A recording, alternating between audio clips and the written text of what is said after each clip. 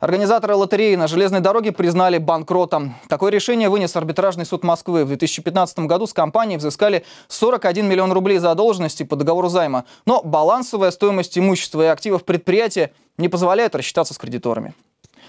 А мы решили узнать, кто из сибиряков все же стал миллионером благодаря розыгрышам, которые проводит российские лотереи. О самых крупных победах расскажет Тахминат Энесова.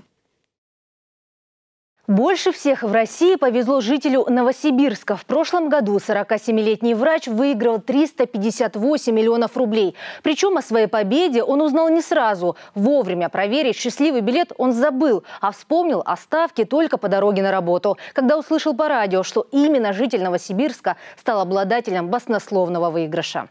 Двумя годами ранее и в половину меньше, но тем не менее многомиллионный приз получил Амич. В 2014 году сотрудник одной из омских строительных компаний выиграл 184 миллиона рублей. Вполне можно понять шоковое состояние новоявленного миллионера. По словам 48-летнего мужчины, после того, как он узнал о выигрыше, трое суток не выходил из дома.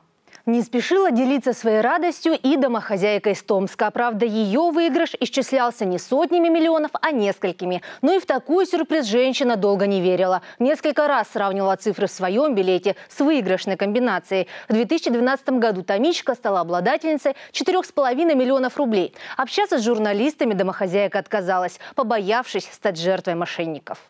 А через два года, но уже кемеровский студент стал обладателем нескольких миллионов. И все благодаря товарищу. Кузбассовец поехал к нему в гости и по пути купил лотерею. Счастливый билет в зависимости от количества совпадений чисел сулил минимальный выигрыш всего в размере 140 рублей. Студенту невероятно повезло. Он выиграл самый крупный денежный приз лотереи, а именно 3 миллиона 400 тысяч рублей.